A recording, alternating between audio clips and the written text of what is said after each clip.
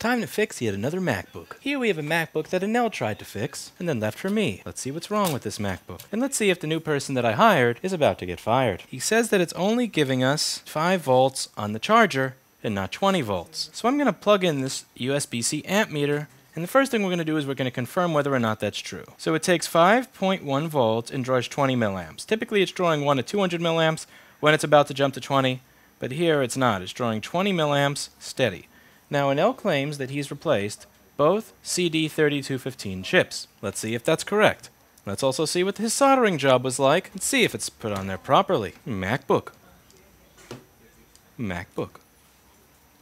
Much MacBook. Look at all these resistors knocked from side to side. My Jesus. Who votes this is time for a firing? Are you even soldered to the board? Fired. Screw you!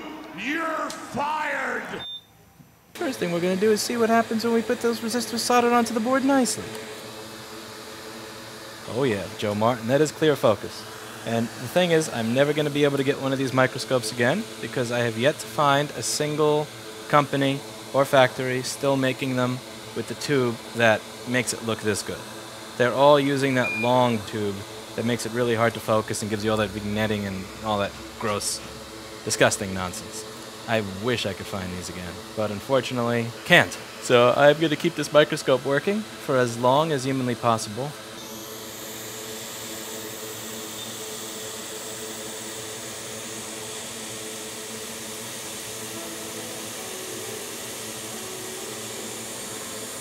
Yeah, I wanted to call and let you know that I am uh, incredibly, tensely, incredibly aggravated that I just got my computer back with a label, label, label, label, label, label on it that was near impossible to remove. I wanted to let you know that's a disgusting practice of complete disrespect. The disgusting practice of complete disrespect. Label, label, label, label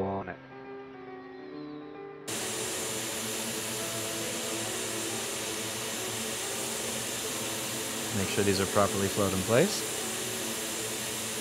Now, it looks like we are still stuck at 5 volts. Our USB-C amp meter does not show it going to 20.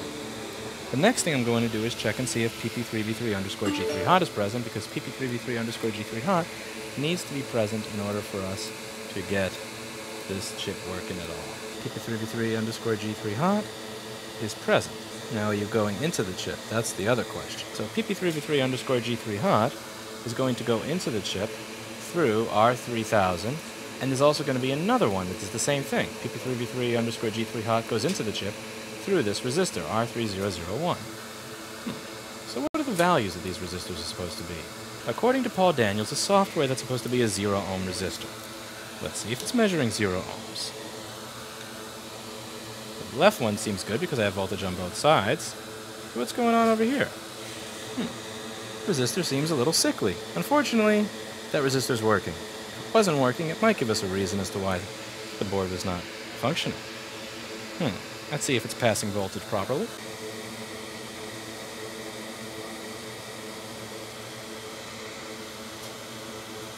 Interesting. It's not passing voltage properly. But how could that be? The resistor just measured zero ohms. It's supposed to be passing our 3.3 volts through. Let's see. We have 3.3 volts there. 3.4 here. And 1.4 at the capacitor. What? So PP3V3 underscore G3 hot is supposed to come in through R3001. R3001 is where PP3V3 underscore G3 hot is then going to be allowed to enter the CD3215. So it's going to have a path through that resistor to this capacitor to here. But now it's over here, but not there. So why is the pathway between this and this broken?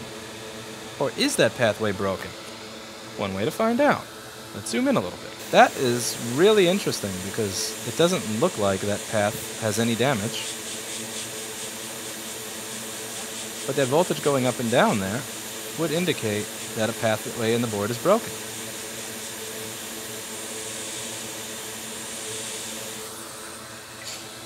So what I'm going to do here is I'm going to use my micro pencil, and you can find out where to get a micro pencil like this by looking at the links in the description down below. You do receive a commission if you do use those links, and by the way, I have noticed uh, a little bit of a pickup in people using those links, and Thank you very much. We genuinely, from the bottom of my heart, appreciate it anytime you buy something from those links below, or even just check it out if you don't plan on buying something.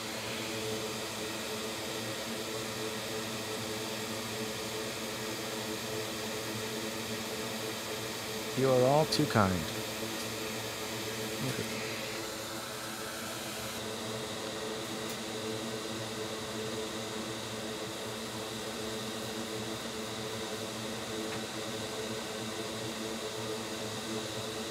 Interesting. So there's nothing for me to really solder to here. Yep, and there's no pad under there. Okay, so that's just got to go.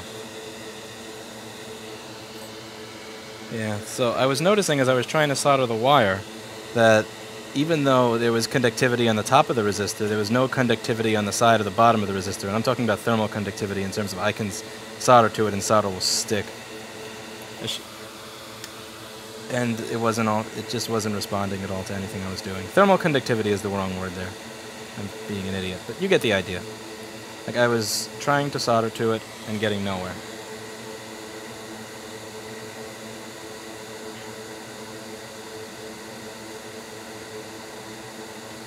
So even though the top of the resistor was conducting, the bottom of it wasn't. That's something. Wow. See, when people say measure this, measure that, the top of the resistor was conducting and the bottom wasn't. That that's an interesting case. So perhaps if we clean the bottom of this resistor off, pad off, we won't even need to have an, a wire. It's just going to take a little bit of gentle scraping, so some flux, some solder, some heat, and some back and forth scrapity scraping. I'm going to turn the board a little so that it's more comfortable for me. Remember, you don't care about the board's comfort, you care about your own. See, this way it's going to be much more comfortable for the scrapey scrape.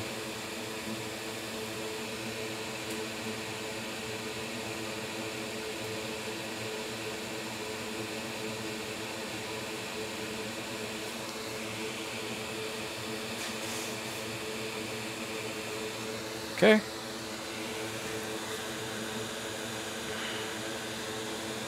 Now we're going to get ourselves a zero ohm resistor.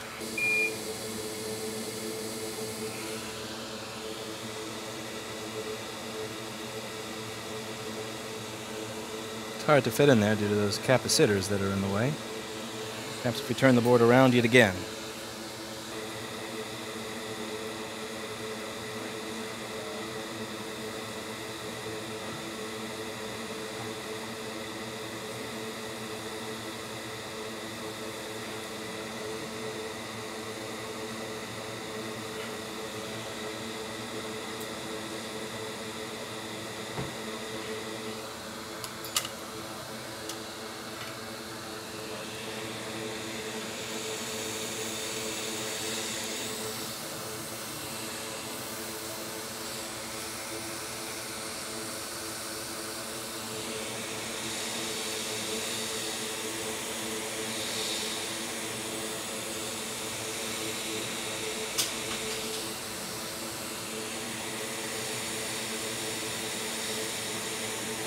Now we're going to let the board cool off using our rapid cool technology.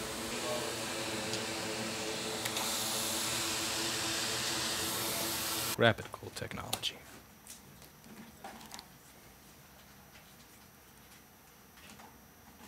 As you can see, barely, we are now getting 20 volts on the charger, and it's taking 500 to 600 milliamps, which is what I would expect a healthy MacBook to be taking when it's fixed.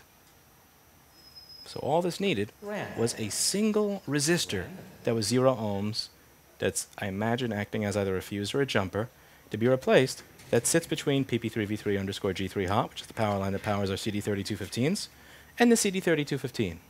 So that's it for today, and as always, I hope you learned something. Do you have a MacBook that needs to be fixed? Come by our store, which is open to the public at 186 First Avenue in Manhattan. Are you located outside of New York? No problem. Send us a machine from anywhere in the world by going to our website and clicking on the mailbox, or simply heading over to sendyourmacbook.com. That's sendyourmacbook.com, where you'll be redirected to our mail in instructions page that includes the form and the directions on how to send us a MacBook for repair.